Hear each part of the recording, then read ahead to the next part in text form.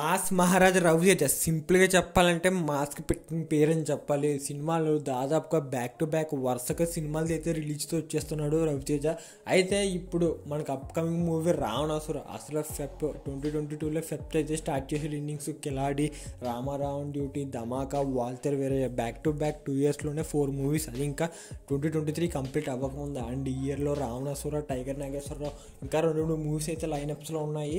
And Dhamaka hundred ఇయర్లో club join అవ్వడం and అంతేకాకుండా Waltair Veerayya two hundred crore club join అవ్వడం and Ravanasura pan India movie దీని మీద ఎక్స్పెక్టేషన్స్ అవి కూడా కొంచెం భారీగానే ఉన్నాయి. ప్రశాంత్ వర్మ డైరెక్టర్ ఇంకా మూవీ పరంగా చూసుకుంటే ఇది బాగా వచ్చింది అంటున్నారు అవుట్పుట్ ఈ మూవీ మనకి ఏప్రిల్ ఎనిమిది అయితే రిలీజ్ అవబోతుంది అండ్ ఈ మూవీ నుంచి మనకి ఇప్పటివరకు కొన్ని ఫస్ట్ సింగిల్ ఇవన్నీ అయితే రిలీజ్ చేశారు. త్వరలో మూవీ టీజర్ దాదాపుగా అయితే రిలీజ్ చేయబోతున్నారు.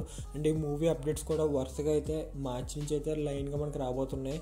ఇంకా మూవీ ట్రైలర్ ఇంకా పీల్ ఈవెంట్ ఎప్పుడు ఉన్నదే మనకి త్వరలో తెలియాలి ట్రైలర్ అయితే మనకి మార్చ్ లాస్ట్ వీక్లో అయితే రాబోతుంది. అండ్ ఈ మూవీలో స్టార్ కాస్ట్ కూడా అంటే హీరోయిన్స్ బాగా ఎక్కువ ఈ మూవీలో రవితేజ పక్కన దాక్ష నగర్ గారు కానీ ఫరియా అబ్దుల్లా ఇంకా చాలామంది ఉన్నారు.